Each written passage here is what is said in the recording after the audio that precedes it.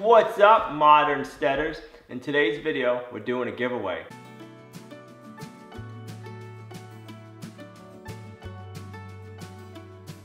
Our good friend and fellow YouTuber, Esther Emery, is now a published author.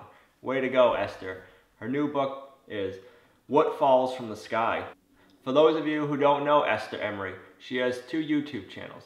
Her first channel is Fouch-o-matic, where her, her husband Nick, and their three kids share their journey of going off-grid in the northern Idaho mountains. Her other channel is Esther Emery, where she posts homestead skill videos every month. Esther's mother, Carla Emery, wrote the Encyclopedia to Country Living. When Esther got out of college, she got caught up in the rat race and left the homestead lifestyle. And in Esther's book, What Falls from the Sky, she describes her journey back to homesteading and what led her back. If you want a chance to win What Falls from the Sky, go ahead, hit the subscribe button, and while you're there, hit the little bell notification.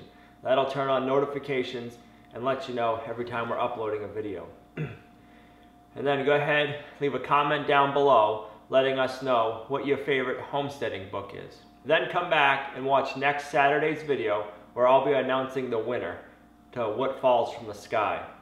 Thanks Esther for letting us be part of your Easter egg book hunt. And until next time, go out and break free from the status quo.